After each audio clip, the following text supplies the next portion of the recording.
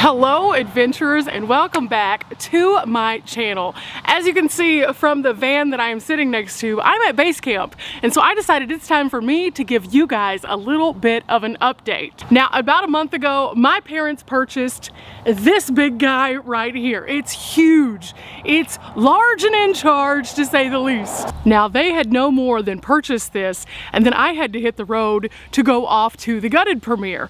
But I told you guys I would circle back when whenever I could to show you the progress. Now, for many of you who are very interested in seeing what's going to go into uh, this guy right here, my dad is going to be creating a channel so he can show you more of the process in a little bit more depth. But today, we're gonna be doing an update. Now this might not be the kind of update that you were expecting though. I'm gonna show you kind of what's going on on another video, but today I'm super excited to share with you this huge thing that's gonna be going into the van. Now, of course, many of you have been following my personal journey in my tiny little van, and you notice that I have a variety of different things. But when you move into a larger space, some things can change. In fact, with larger space, you can have larger items that help you with more things. And so today I'm gonna be showing you guys one of those. So looking at the van right here, what do you think it is? Well, you probably already read the title of this video and you know I'm gonna be showing you the fridge that my parents will be using. I'm super excited about this one and we're gonna do it as a full-on unboxing. Now, just to kind of give you an idea of the difference in space. This will be super handy for especially those of you who are new to the channel. This is my van. It's a 2020 NV200. It is a tiny little micro camper that I have a limited amount of room in. And so because of that, sometimes I can't always have the things that I want. In fact, in this van right here, I currently have a refrigerator set up. But oh, it would be so nice to have a freezer, especially during the the summer months because, you know, ice, ice cream, all sorts of other cool things. Well, guess what? My parents, they have enough room. So since they do, today we're gonna be unboxing a SetPower dual zone refrigerator freezer that will be going into this space. Now you're probably asking yourself, but why are you showing this on your channel? It's because a lot of you have asked me about an option that's similar to this, and I wanna show you the size and also the footprint that it would take up. I know not everyone has a tiny little van like I do. Some of you guys have a, the big boy or even a schoolie, and so you want something that's gonna be able to hold a few more things. So that's what we're doing today. Okay, without further ado, inside, ooh, there it is. Oh yeah, this is gonna be super fun. I'm still learning how to use my parents' van though. This is like a foreign concept with something so big. And I think you can see from this also a few of the small changes they've already been making, but we'll get to those later. Okay, I think you can see kind of where we're going with this. It's big, it's large, it's in charge, but this is the box. So let's see how big the actual SetPower is. Now this is the TC75 model and it is a dual zone. So you can use it as a freezer and a refrigerator or both refrigerators or both freezers. You can kind of pick your adventure with this one. That's awesome. So one of the things that I did like about this one is it does have the deep freeze, which goes all the way down to zero or negative 18 degrees Celsius. Also, it's going to have a multi-level battery voltage protection. That is huge right there, guys. I can't even explain how huge that really is. But let's look on some of the other parts of the box and kind of go through the specs before we cut into the top of this. I already have some scissors like right here. Okay, so here are some of the product specs. As you can see, it's going to be a DC 12 volt. It weighs approximately 22.2 kilograms or 48.9 pounds. Now, I will say this, picking up this box right here, I didn't feel like it was super, super heavy though. It didn't feel like it weighed almost 50 pounds, that is for sure. But then we have some dimensions here. So if you're looking to do a van build of any kind and you're looking for a larger fridge option, the product dimensions are 34.6 by 18.9 by 18.2. So This right here, this box, says that it is approximately two inches larger in every direction. So it's not gonna be quite this big. Now, before we unbox this, SetPower is a brand that I personally have used. In fact, my first fridge that I ever used in my van was a SetPower. I loved it. It was wonderful and it functioned so well. It pulled a very minimal amount of my power off my power stations. So of course, I was like leaning toward this one for my parents because I know it's quality. So I'm just gonna start off by saying that. But now it's time. Oh, it's time. I'm super excited. Let's open the box. We're by the road, so it's a little noisy. So just uh, pardon the progress, guys. But we're gonna snap into this real quick just with some scissors. And then we're gonna have to turn it. Ooh. See, even turning it, it, it, doesn't feel like it's 50 pounds. Uh, it's kind of wild that it, it, doesn't. Because normally you see 50 pounds just like, ugh. And I usually am like thinking, no, no, I can't do that. But but this I totally could. So it, it, it doesn't feel like it's that heavy.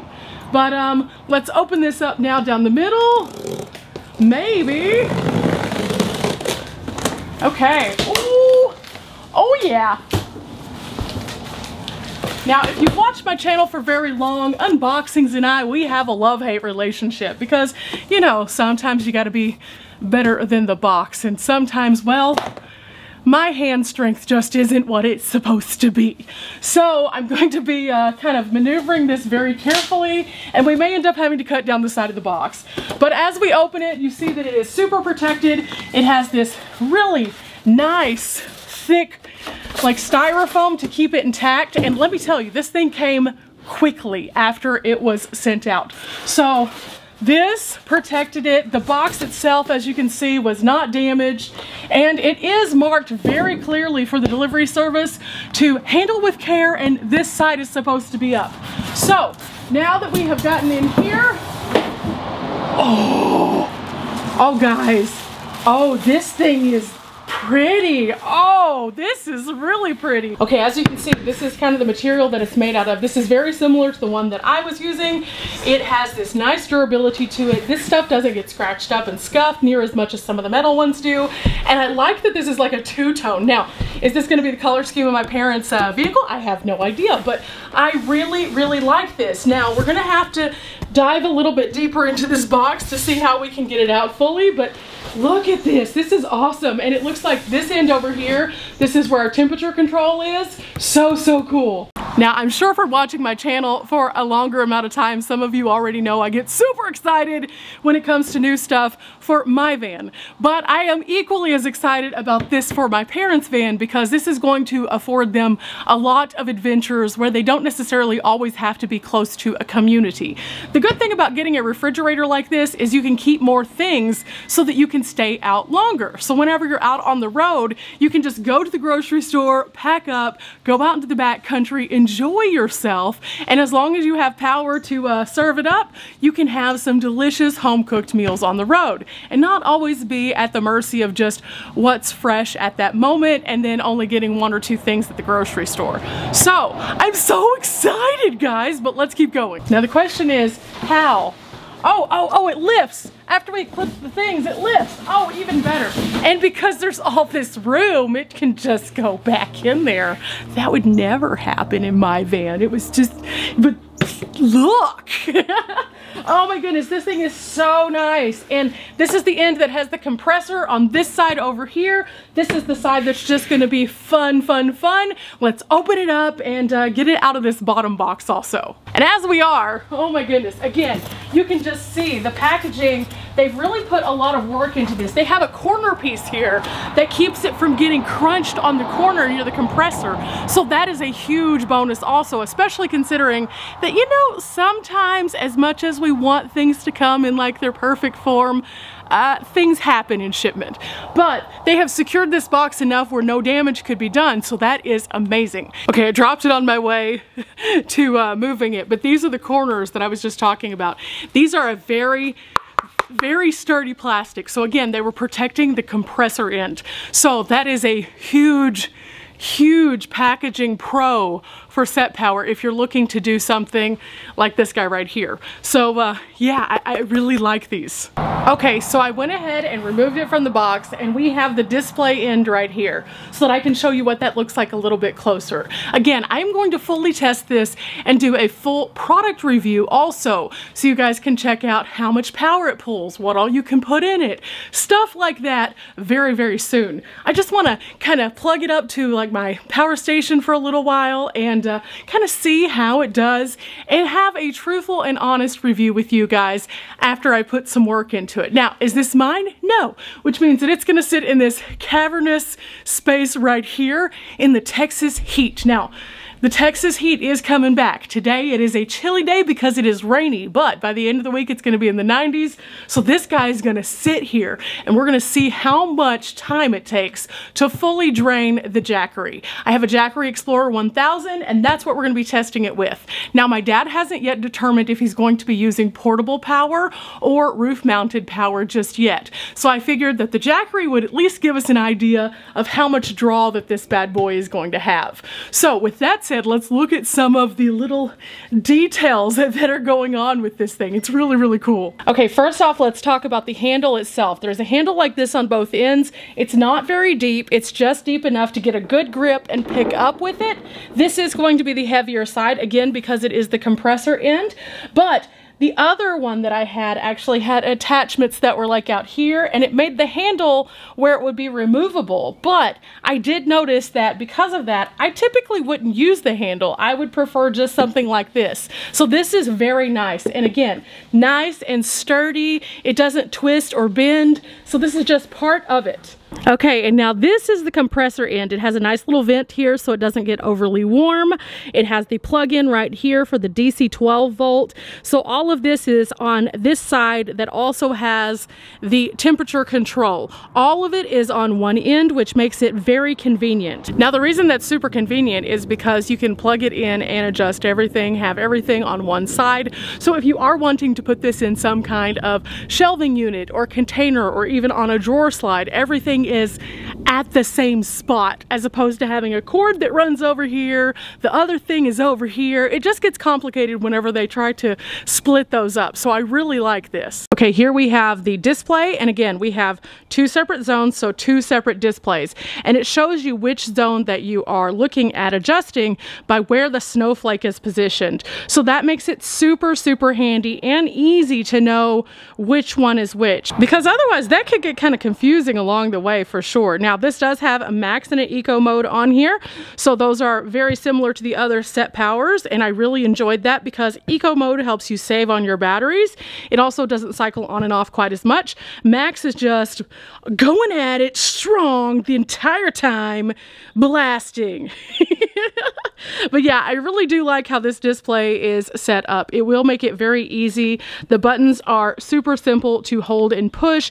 It does have your settings thing here so you can also lock it so that these don't get adjusted by accident, which in my book is a huge win. Okay guys, so now it is time to open up the doors and see what's behind door number one and door number two. We'll start off with door number one. It has this nice little pop-up area and you can see that it just kind of pops up just slightly. This is going to be a nice deep, oh my goodness, this is so deep. Wow. I guarantee that if you're comparing the height of this, you could put a bottle of soda, like a two liter soda in here, standing upright with no problem. But let's go see the other one really quickly. Again, a nice little pop-up handle. Here's all of our cool stuff and goodies to plug in with. And again, Nice and deep on this side, slightly less deep here because you have the compressor, but wow, look at all that space. Now, something SetPower is pretty well known for is the fact that they have these bins that are removable. You can take them all the way out. This makes it super easy whenever you are packing your refrigerator freezer because you can just take this out, set it on the counter, fill it up, and then just slide it right back into place like that. Also, you'll notice that there's a little light right here. There's also one on this side. So you'll be able to see what's going on in your fridge, even if it's darker. And that can be handy because not every day do you want it to be bright and just blasting light while you're in your van. Some days you just want it to be kind of a chill time. Pull your little fridge out, open it up, and then boom, you can see what you're looking for a lot easier. If you wanted to set it up where the doors were on this side, you can also do that. You can flip these so that they can open from either direction. So if you're in your van and you need to set it up against this wall, for example, this would work. But if you needed to set it up against this wall, and you needed your power to be on this side, you would want it to open up in this direction. So you can easily flip these and I love that. Something else that SetPower does that I really appreciate is they have this right here. This is just inside of this container compartment right here, but it has the different kinds of food or things that you might want to put inside the refrigerator freezer and the suggested temperatures. So you can set the temperatures in here to Fahrenheit or Celsius, and this is how you would do so for different kinds of things. Now, again, if you're wanting this to be a dedicated Freezer, you could just set it all to zero and be good. But if you're wanting to have one side be a refrigerator, this is so handy. Okay, last but not least, let's go through this box right here. These are gonna be all the different cords. We'll open those up in just a second to look at them closer.